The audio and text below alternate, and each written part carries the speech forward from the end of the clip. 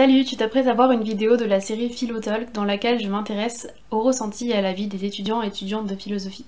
Si tu es toi-même étudiant ou étudiante ou alors si tu es en terminale et que tu te poses quelques questions sur tes études à venir, alors cette série de vidéos est faite pour toi. J'espère que ces vidéos pourront t'inspirer, te motiver ou alors te remotiver pour cette belle matière qu'est la philosophie. Salut Rémi Salut. Est-ce que tu peux euh, commencer par te présenter? Bah, Je m'appelle Rémi, j'ai 23 ans. Je viens originalement de Haute-Savoie, et puis de Grenoble, puis Lyon. Trajet universitaire quoi. Donc t'as fait ta fac euh, d'abord à Grenoble, Ouais, t'as fait une licence? je fais deux licences. Je fais euh, une licence de psycho et ensuite une licence de philo. Licence de psycho que j'ai pas fini, mais, euh, mais ensuite je me suis embarqué dans la philo. euh. Je me suis embarqué dans la philo parce que j'arrivais pas à ma licence de psycho. Voilà. T'as fait combien d'années de psycho? J'en ai fait deux. J'en ai fait deux, ouais. ouais. C'était trop scientifique pour moi, j'ai pas pu. Hmm. Les cours de biologie, euh, en- les cours de biologie niveau médecine, euh, quand Ouais. tu sors de, de bac L, euh, Hmm. T'as fait ton lycée où? Bah, en Haute-Savoie du coup, à côté de la Suisse, à côté de la frontière suisse, à. Saint-Julien, Saint-Julien en Genevois. Et en bac L, ça t'a plu? T'as commencé à découvrir la philo en L, j'imagine? Euh, le bac L en soi, ouais, il m'a plu, mais ouais, c'est surtout la philo qui a été une grande découverte pour moi. J'avais un prof qui était euh, exceptionnel, une personne incroyable qui, a- qui avait fait la psychanalyse, puis ensuite philosophie et qui, Ah ouais et qui avait une pédagogie très humaine, ouais, très euh, instinctive, voilà, on va dire ça comme ça, on va dire ça comme ça. Tu te souviens de quelque chose qui t'a marqué, un livre ou un moment où tu t'es vraiment dit, ouais, euh, en terminale, où tu t'es dit que là, euh, t'avais vraiment envie de faire de la philo? Non, non, parce qu'en terminale, j'avais pas envie de faire de la philo. Et du coup, t'es Enfin. parti en, en psycho J'aimais bien la philo, Ouais mais c'était vraiment pas ce que à l'époque c'était pas ce que je voulais faire à l'époque je voulais Ouais. vraiment vraiment faire de la psycho et euh, mon professeur de philo me l'avait euh, déconseillé euh, Ah ouais? parce qu'il disait que j'étais il disait que c'était pas forcément une filière appropriée pour moi Hmm. mais moi euh, 17 ans têtu comme je suis j'y Mm. suis quand même allé Ouais. et je me suis ramassé deux ans de suite et puis ensuite je suis allé en philo et là ben là c'est bon Et pourquoi t'as décidé d'aller en philo euh, plutôt qu'ailleurs après la psycho? Pendant ma dernière année de psycho euh, en les partiels, je me disais, euh, enfin grâce à mes parents, euh, j'avais prévu des portes de sortie au cas où je me loupe en psycho et je me dis bah tiens comme ça j'ai posé des trucs là et là et comme ça je suis safe euh, pour euh, septembre. J'ai hésité entre langue vivante et philo et au final j'ai fini par partir en philo. Euh, une raison pour distinguer les deux, en vrai j'en ai pas tellement, je ne saurais- là je ne saurais plus dire. Mais du coup je suis arrivé un peu pas par hasard en philo parce que j'aimais bien la philo et euh, je savais, enfin je savais ce que c'était, j'avais déjà pas mal abordé. Et t'avais peur euh, de, comm- de recommencer à zéro? Parce que du coup, t'as recommencé en L. Ouais, j'ai recommencé en L1, ouais. Ça te faisait pas trop peur? Non, non, non, non, au contraire, euh, au contraire, je trouve ça plus rassurant de, de pouvoir faire tout le parcours, euh, d'avoir un apprentissage aussi complet que possible. D'ailleurs, j'ai toujours ce topic-là. Euh, mais non, non, non, ça, à l'époque, ça me faisait pas peur, pas peur plus que ça. Euh, je me disais qu'après après la psycho, il pourrait pas y avoir de choses plus compliquées euh, que ça, donc, euh, donc non, ça me faisait pas peur plus que ça. Et alors finalement, c'était compliqué ou pas la licence de philo? Est-ce que j'ai. Est-ce que c'était éprouvant pour moi? Non. Mhm. Non. Compliqué au sens de. ça m'a invité à remettre en question tout. C'est une difficulté que je juge assez fertile, donc c'est pas. C'est pas un mal en soi. Après, pour le travail, euh, bah. En L2 ou en L3, j'ai dû faire euh, genre quelque chose comme 6, 7 dissertes, explications de texte en deux semaines, un truc comme ça dans un espace de deux semaines. Donc ça t'aide à, ça te force à t'organiser en amont et à travailler euh, sur le long terme. Mais euh, moi ça me stimule pas mal. J'aime bien le, j'aime bien les challenges comme ça entre guillemets. Cette fois-ci, les- au niveau des partiels, ça. Ouais, ouais, il y a un, il y a un côté beaucoup plus libre dans la philo qu'il n'y a pas dans la, dans la psycho parce que la psycho est une, enfin, est une, se veut être une science dure. Mm. Et donc elle adopte des, des structures de réflexion qui sont vraiment fermées et très peu fertiles, je trouve. Enfin, en fait, c'est du par cœur, quoi. C'est, Mm. enfin, pas dans tout, mais c'est quand on va faire des cours de bio, quand on va faire des cours de sciences cognitives, quand on va faire des trucs comme ça, bah, ça va être du par cœur, du par cœur, du par cœur. Mm. On va demander de connaître euh, des noms de modèles de scanners, hein, pour une raison qu'on ne sait pas trop, mais... Euh, non, en tout cas, ça c'était spécifique à Grenoble parce qu'à Grenoble ils ont une approche très très très scientifique. Mm. Et moi, c'était clairement pas fait pour moi, donc je, à l'époque, je voulais persévérer dedans, et maintenant que j'y, maintenant que j'y reviens, je, je suis content pas. de pas l'avoir fait. Ouais. Et en philo, t'as pas du tout eu cette impression euh, qu'il fallait parfois faire du par cœur ou des choses comme ça? Non, vraiment pas. Après, ça, ça, c'est les- ça dépend des méthodes de travail, mais Moi, je sais que par exemple, j'aime vraiment pas faire des fiches de lecture. Hmm. J'aime vraiment pas. euh, comment dire Moi, je préfère lire un livre et le relire, le relire et euh, intégrer son plan et sa structure et ses propos plutôt que plutôt que me forcer à le, à le, à le formaliser dans, euh, dans un plan que j'ai moi-même concocté alors qu'il y a déjà un plan dans le livre. Hmm. Enfin, je préfère suivre la pensée de l'auteur plutôt que la question de ma pensée. En, en philo, c'est il y, a- il y a vraiment une... Je trouve qu'il y a une part libre, assez libre à la...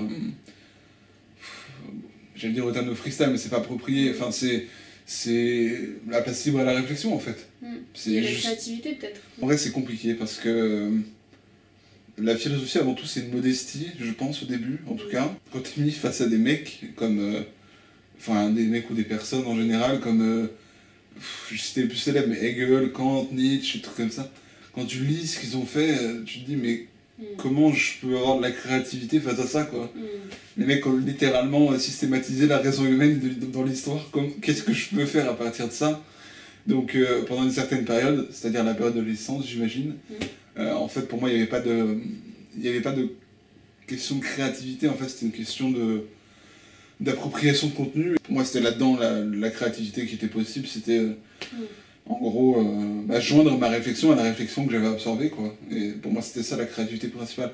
Après la créativité en philo elle, est dans- elle vient dans la recherche mais c'est plus tard quoi. C'est beaucoup plus tard. Un des moments les plus marquants de toute ma vie et surtout de ma licence de philo, c'était quand j'ai eu un cours sur euh, la naissance tragédie de Nietzsche. J'avais un, un prof euh, incroyable, spécialiste de Nietzsche, euh, des arts sur Nietzsche, donc euh, vraiment un, expert, un mec super sympa, pédagogue, etc. Mhm.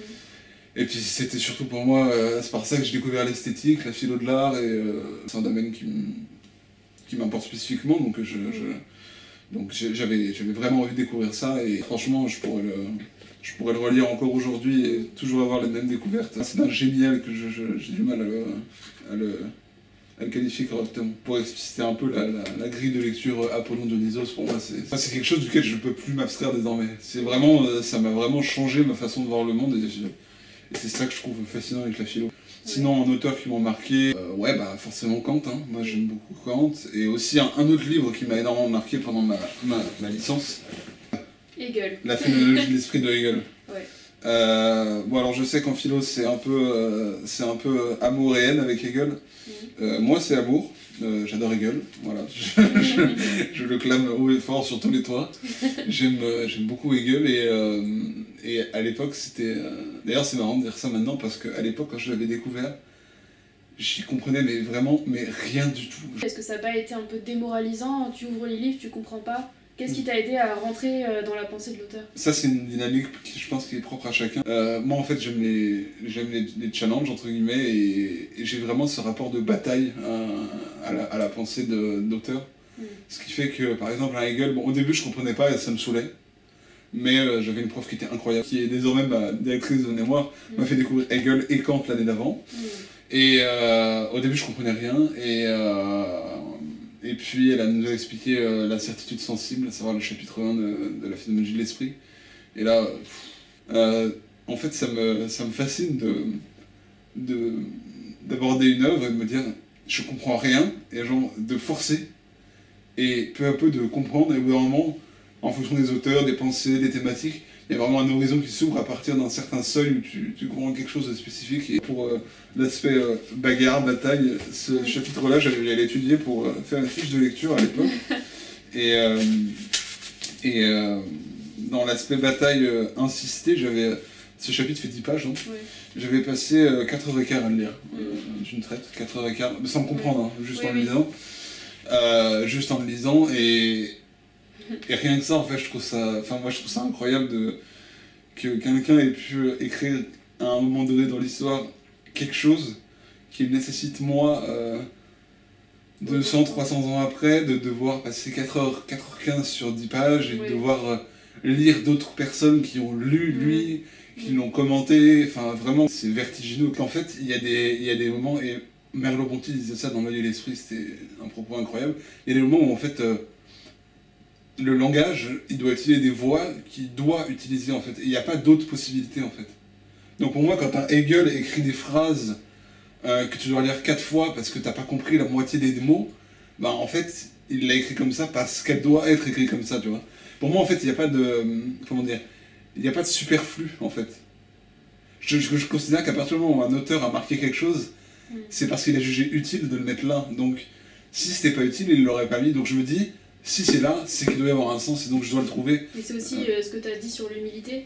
Euh, Ouais, de voilà, pas- de pas se exactement. dire, euh, oui, euh, il raconte n'importe quoi, mais Exactement, d'essayer de comprendre exactement, aussi. ouais. exactement. Enfin, tu vois, m'approcher d'un mec comme Hegel qui a été, qui lorsqu'on l'a enterré, a été comparé à, littéralement comparé à Jésus, euh, me dire de ce mec, non mais enfin, il, est- il est compliqué pour rien, euh, il nous fait chier à mettre des mots compliqués. Un peu de, Un peu quoi, tu vois. euh, Ça va avec. Mais pour reprendre ce que je disais sur Merleau-Ponty, euh, c'était Merleau-Ponty quand tu parlais de Cézanne dans l'œil et l'esprit. Il disait que, il disait que le, bon, c'était pas totalement en rapport à ça, mais il disait qu'en gros, le- la peinture devenait un langage au-delà des mots. En fait, quand les mots peuvent plus, euh, peuvent plus communiquer, la peinture devient un langage. La peinture est tout ce qui n'est pas langagier, à proprement parler, au, au sens de culturel, de signifiant, signifié, tout ce qui n'est pas compréhensible par des mots, est nécessairement plus compliqué qu'un langage. La complexité est nécessaire pour moi. Voilà, je pense que je, veux- je pourrais résumer mon propos comme ça. Pour moi, au contraire, je pense que la, la complexité et le fait de dire euh, c'est complexe pour rien, c'est justement s'avouer, euh, gros, euh, dans la perspective de duel, s'avouer comme bah, j'ai perdu en fait. Mm. Et moi, je, moi, je, veux, je veux pas ça. Moi, je, je, veux, je, veux, je veux gagner des batailles pour. je sais que je gagnerai jamais la guerre, tu vois, mais je veux gagner des batailles au moins, tu vois. Ouais, alors moi, je suis un. Bon, alors déjà, moi, je, fais de la. Je fais de la phéno-réflexive, donc enfin, je fais J'étudie le Searle, en gros, donc je fais de la phéno-réflexive. Ce qui a distingué de Sartre, d'Heidegger, qui est plus de la, phéno-existentielle, qui sont deux langages vraiment différents. Euh, et en ce sens-là, ouais, j'ai une, haine assez prononcée pour euh, la philo-analytique en général. En fait, y a, je pense qu'il y a quelque chose, et, euh, et dans, la, philo- dans la philo-analytique, pour moi, il y a quelque chose dans le, le, concept même de, philo, de philo-analytique, en fait. Comment elle s'est constituée, et quand tu regardes historiquement, elle s'est constituée pas en opposition, pas en dégagement, mais elle s'est constituée en dualité avec la phénoménologie continentale, en fait, qui sont développées à partir de thèses qui sont sé- sémiotiques et, et, euh, et comment dire, langagères, textuelles, logiques, tu vois. Donc t'as pas de mouvement. C'est la, mort de la réflexion pour moi, la philologie. Ah. Mais tu vois, ça contraste avec ce que je disais par, rapport à avant, la modestie, etc. Mais, mais pff, Parce que Hegel aussi, c'est- il y a quand même une structure logique euh, très forte, mais Justement, il, va ouais. dans la nuance. justement, ouais, en fait, le, le différence avec Hegel, et là on va pouvoir parler euh, en termes logiques, c'est que Ouais. là où je pense que la philologie fait euh, A, non, A, non, non, A, non, non, non, non, A, Mm. et bah Hegel il fait A, B, C. Mm. Enfin, c'est là, c'est là où fait boum, la dialectique euh, hegelienne classique, quoi. Enfin, Mm. Bon, c'est classique, euh, quand on est en philo, c'est un peu compliqué à comprendre quand on n'est pas en philo. Même quand on est en philo, d'ailleurs, c'est un peu compliqué à comprendre, mais, euh, Ouais. mais euh, cet aspect de dépassement des contradictions, euh, il, euh, il est essentiel pour moi à, le- à la réflexion humaine et, et c'est quelque chose que la philo analytique n'a pas su comprendre pour moi Ouais. et qu'elle sait toujours pas comprendre. Ou alors j'arrive pas à comprendre la façon dont elle, dont elle le comprend. Mais j'ai été traumatisé par un auteur de L3 euh, qu'on nous a fait, euh, dont j'ai eu un cours dessus, Gilbert Ryle. J'ai vraiment rarement lu quelque chose aussi chiant pour moi, franchement. euh. Et c'est un livre que je n'ose pas rouvrir. Euh, je, le je le rouvrirai sûrement un jour parce que ma, ma, malgré mon désintérêt, on va dire ça comme ça, à l'égard de Ryle, je pense que je finirai quand même par le rouvrir un jour. Euh, je me considère pas assez, euh, assez savant ou assez sage pour euh, juger qu'est-ce qui est intéressant et qui ne l'est pas. Mm. Donc j'estime que euh, je vais forcément trouver un intérêt à, à Ryle au bout d'un moment, ou alors je vais pouvoir y trouver quelque chose, quoi, au moins quelque chose de pertinent, quelque chose qui nécessite qu'il l'ait écrit, quoi. Je considère qu'à partir d'un certain, une certaine ouverture réflexive à la philosophie, on va dire, je peux trouver de la philosophie partout. Moi, moi-même, je me suis intéressé à des, à des auteurs euh, qui ne sont pas étiquetés philosophes et qui, euh, et qui, pour moi, ont eu des propos philosophiques euh, d'une, d'une, comment dire, d'une importance tellement grande par rapport à certains autres philosophes. D'ailleurs, j'en ai amené un livre d'un auteur, un livre qui m'a spécifiquement marqué sur ça. Euh, c'est euh, L'expérience intérieure de Georges Ah Bataille. ouais. Bataille, c'est un de ces mecs qui détestait la philosophie et qui a fait de la philosophie mieux que les philosophes. Enfin, en lisant ça, tu tombes sur des passages qui sont beaucoup plus complexes que du Hegel. Mm. Quand tu essaies de le mettre dans une méthode, genre, il est nulle part en fait, parce qu'il créait sa propre méthode et, et en ce sens-là, tu peux trouver de la philo partout, parce que la philo, c'est une méthodologie avant tout. Donc tu peux trouver, euh, tu peux trouver une méthode partout en fait, et c'est ça qui est vraiment intéressant. Et moi en, en L3 par exemple, j'ai eu un grand intérêt pour la civilisation aztèque, en fait, sorti d'un jeu mais plus ou moins sorti de nulle part. Oui.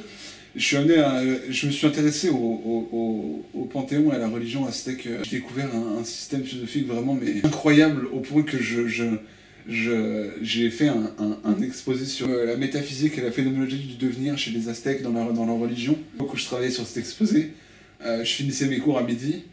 Euh, dès midi, je restais dans la salle, j'ouvrais le livre, le livre que j'étudiais pour l'exposé sur les Aztèques et je taffais jusqu'à 14h. Après 14h, j'avais cours. Pour moi, c'était pas du travail en fait, c'était vraiment juste vivre, enfin, j'en faire ce qui me plaît quoi. Je, je lis toujours des auteurs qui sont à la frontière, on va dire, entre philosophie et littérature.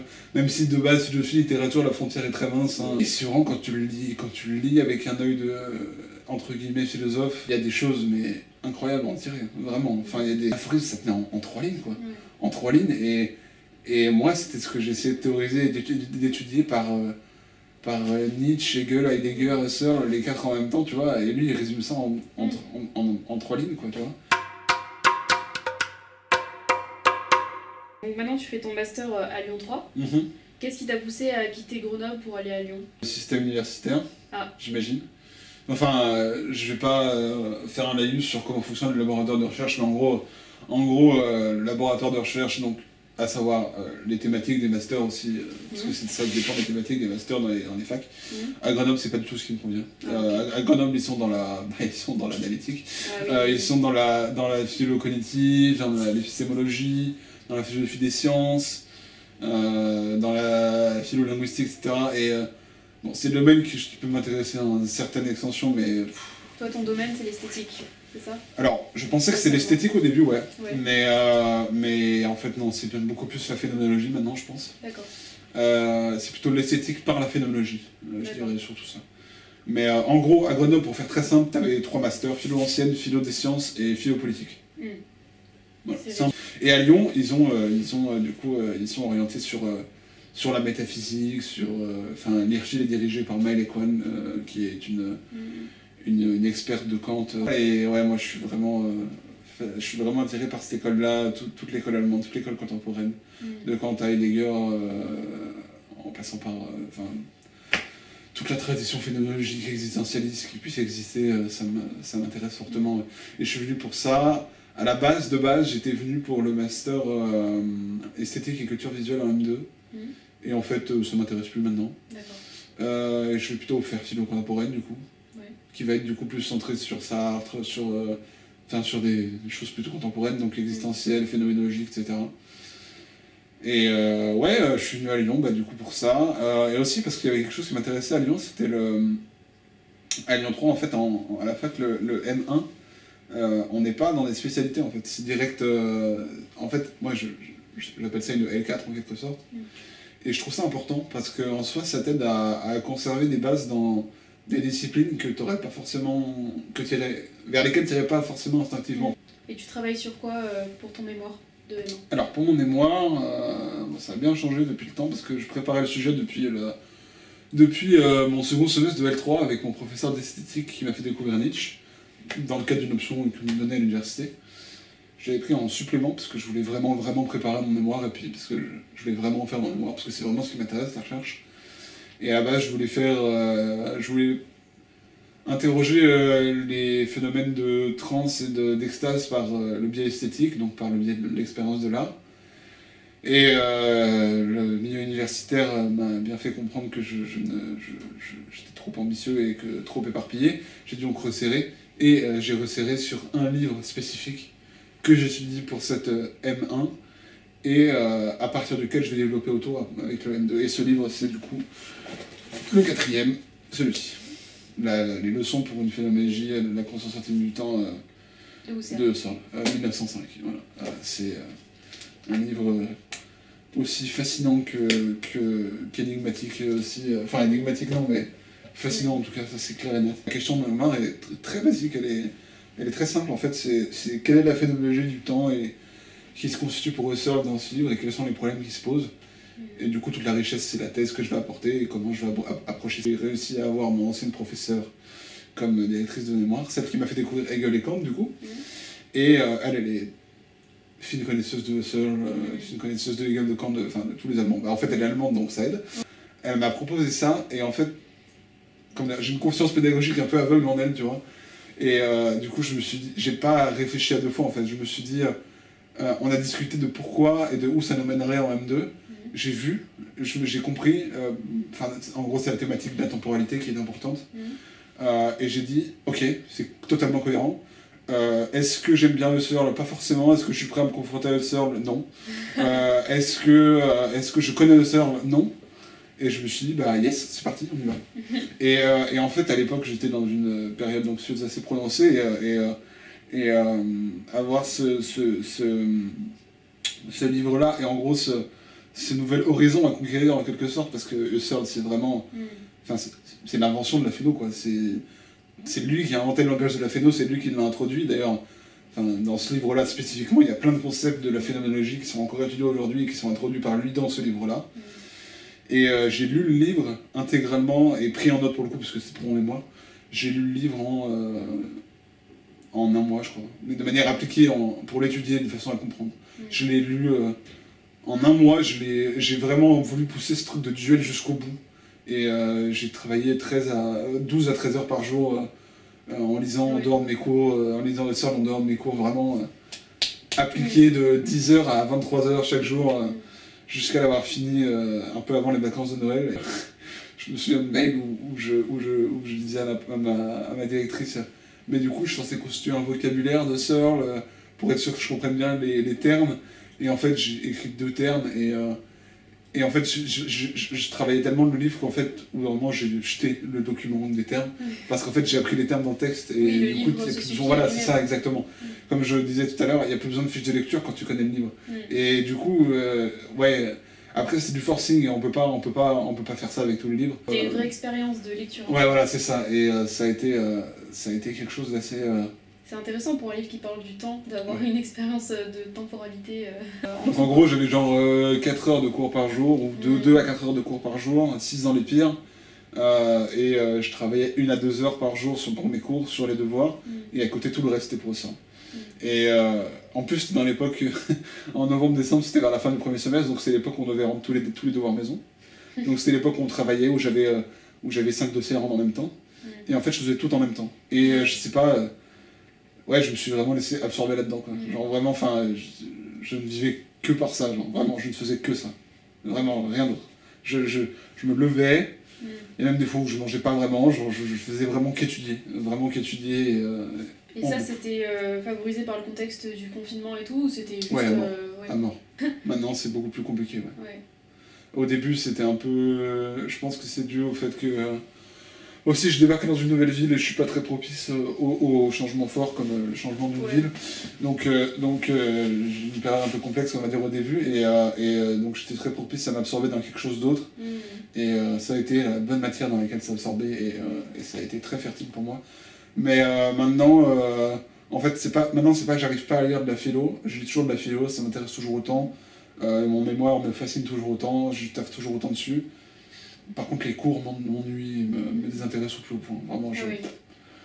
Enfin, Qu'est-ce qui fait en fait, on, a, on a la possibilité de les avoir en, en présentiel maintenant, mais j'ai même plus le courage d'y aller. En fait, je, je, Ouais. je me branche en distanciel, je suis de manière périphérique. Comment dire, je, je sais un peu comment je fonctionne, donc je, je, je sais qu'en suivant de manière un peu périphérique, je vais être capable de capter les thèmes les thématiques principales, les termes importants.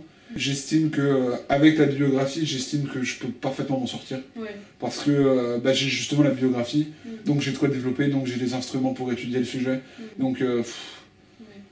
pff, écouter quelqu'un sur un écran, euh, C'est- bon quoi, c'est chiant, enfin surtout c'est infertile au possible, c'est Mm. Enfin là, là encore ça va mieux entre guillemets parce qu'on a, on a moins de cours en, en S2 mais en S1 j'ai souvenir de, de, de, de fin de semestre où j'ai eu 8 heures de cours par jour en distanciel quoi. Ouais. Enfin t'es devant l'écran, la personne parle et t'es là genre bah vas-y parle, enfin je vais pas noter de toute façon donc euh, Oui. enfin vraiment euh, euh, au bout d'un moment là, arrivé à la, à, à la demi-heure de la huitième heure et à la neuvième heure euh, je suis même plus, t'es parti te faire à manger, t'as posé ton casque et peu importe. Pense que la philosophie nous amène à, à reconsidérer la, la notion même de certitude, Mm. constamment. Constamment, et, et en fait, à chaque fois que tu vas vouloir établir une certitude, tu vas te rendre compte qu'en fait, elle n'est pas certitude pour X ou Y raison, Mm. Et du coup, tu vas redéfinir la certitude, etc. etc. C'est un, chemin de, c'est un chemin de croix, en fait, la philosophie. C'est quelque chose dont tu te débarrasses jamais. En fait, la philosophie est autotélique, tu fais de la philosophie pour faire de la philosophie. Existe, enfin, la pratique de la philosophie, elle est autotélique, elle est pour elle-même. Tu le fais pour rien. Ouais, tu penses pas qu'il y a des, euh, des développements euh, dans la pratique, dans, dans, la vie, on va dire, euh, quotidienne Ouais, je sais qu'il y a pas mal de tendances modernes à, à, à la philosophie pratique. D'ailleurs, c'est une vraie question. Hein, ouais, ouais, ouais. Non, non, mais je sais, je sais bien. non, non, mais j'ai d'ailleurs assisté à un séminaire il y a pas longtemps de, de phénoménologie de l'agir, du pratique. La phénoménologie de l'agir, j'en ai fait qu'une conférence, je vais en refaire. Donc j'espère que ça m'aidera à mieux aborder le truc. Je vais prendre l'exemple de la philosophie politique. Oui. Ok Alors, on, va, on va prendre ça comme ça. Philosophie morale, politique actuelle. Mhm. euh, toutes les questions de toutes les questions d'identité individuelle en fait. Euh, moi j'ai tendance à penser qu'il y a un, des deux côtés idéologiques de la chose, euh, les deux extrêmes, des dogmes qui en fait empêchent la réflexion au milieu en fait, et qui t'empêchent de, de, vraiment construire quelque chose euh, quelque chose de fertile. C'est pour ça que je m'écarte de ces champs-là. Ouais, en fait, ce qui m'intéresse, c'est vraiment la réflexion. Et les valeurs, comment dire, les valeurs, les, les contenus, euh, les contenus de valeurs derrière, mm. tout ce qui va te rapporter à toi-même et qui va être de l'ordre de l'affect. Mm. En fait, pour moi, je, je, ça n'a pas d'intérêt, en fait. Je, en fait, enfin, non, c'est pas que ça n'a pas d'intérêt. Je comprends que ça ait de l'intérêt, je comprends que ça ait de l'impact, mais je pense qu'on doit dépasser ça. Tout le temps. Donc euh, pour toi, les sujets, euh, par exemple les, sujets de politique, euh, c'est des sujets qui appartiennent pas à la philosophie, mais plutôt à la sociologie ou à autre chose Ah non, absolument pas. Absolument pas. Je pense que ça appartient vraiment à la philosophie. D'accord. Je pense que c'est... En fait, je pense que tout appartient à la philosophie. Je pense qu'il n'y a aucun sujet qui n'appartient pas à la philosophie. Alors comment faire pour les, pour les aborder Peut-être, tu veux dire enlever les affects plutôt, c'est ça? Ouais, en fait, je... c'est une question très large et très complexe. Et je considère que tout ce qui va vers le vécu plutôt que le, la, la, fixité et les systèmes mais bon. Je considère que c'est nécessairement bon. Et là, on va me demander pourquoi alors t'aimes autant Hegel et eh ben, parce que je pense que Hegel a réussi à parfaitement euh, lier les deux, à les faire toi, la philosophie doit aller vers le vécu, mais pas euh, à partir d'idées déjà préconçues, c'est ça? Parce que tu disais que tu voulais écarter certains sujets, mais en même temps, tu veux aller vers le vécu. En fait, il y a certains sujets, mmh. il y a certains sujets, notamment politiques, dans les, dans les, dans les questions de liberté individuelle, etc., où on va dire, à partir d'un certain vocabulaire, d'un certain mot, d'une certaine idéologie, d'une certaine quoi que ce soit, en fait, on ne veut plus discuter. Hmm. On ne veut plus, euh, on, ne veut plus développer, on ne veut plus réfléchir. Quand on atteint ce point-là, pour moi, il n'y a, a, plus rien à faire, en fait. Enfin, il n'y a, a, plus rien qu'on puisse faire, littéralement, en fait. À partir du moment où tu te dis, euh, si on me dit ça, j'arrête ma réflexion. Ok, bah, c'est bien, t'es arrivé à un dogme et du coup t'es bloqué dessus. Mm. Et du coup, la seule chose que tu peux faire, c'est l'imposer. Et il n'y a aucune fertilité philosophique pour moi là-dedans. Et ce qui est tragique, dans un sens, c'est que c'est presque euh, compréhensible et nécessaire hein, dans, dans, la, dans, la, situation actuelle. Mm. enfin, c'est compréhensible que des gens veuillent se battre pour leur liberté individuelle, c'est compréhensible qu'ils réclament des droits pour ça, euh, etc. C'est compréhensible de ces combats militaires je pense qu'il y a des dérives, des dérives, euh, des dérives euh, réflexives qui mènent à un point où en fait il n'y a, plus de réflexion, il n'y a, plus, y a plus de réflexion, il y a juste du dogme. Et, euh, et c'est ce que je reproche, et c'est pour ça que je me suis éloigné totalement, intégralement de la philosophie politique et morale en général. Euh, toi, qu'est-ce que tu voudrais faire Donc, tu vas faire ton M2 euh, à Lyon, j'imagine, mm as dit en, philo. Mhm. Et après, est-ce que tu comptes euh, passer l'agrégation et où le CAPES est enseigné ou En fait, moi, je compte, je compte, je compte aller le plus loin possible. En fait, donc, de 1 faire l'agrégation, de 2 peut-être faire un master, et de 3 surtout faire un. En fait. Moi, je veux faire enseignant-chercheur, donc je vais faire tout ce que je peux pour ça. je vais faire tout ce que je peux pour ça. Je vais je ouais, quitte à refaire un second master, il n'y a aucun problème. Refaire un second mémoire, faire de la recherche, il n'y a, pas de souci. Je, suis là pour ça. Je... Tant qu'on tant, tant qu'on me laisse la place pour le faire, j'en ferai. Donc, euh, si je peux euh, faire ça comme profession, ce serait l'idéal. Mm. Et l'idéal étant évidemment enseignant-chercheur. Ouais. Mm. À Lyon, c'est pratique parce qu'il y a le laboratoire de recherche qui est ancré dans mes, euh, dans mes dans mes domaines d'intérêt, on va dire, philosophique. Je parle de laboratoire de recherche, mais parce que l'école doctorale est dans le laboratoire de recherche ou quelque chose comme ça. Enfin, je connais pas euh, tous les fonctionnements administratifs, mais ouais, c'est... Bon, bah, merci beaucoup euh, d'avoir répondu à mes questions. plaisir. Et euh, bah, voilà, je te souhaite le meilleur pour la suite et que tu restes toujours aussi passionné. Et bon courage pour les, pour les cours à distance. je l'espère aussi.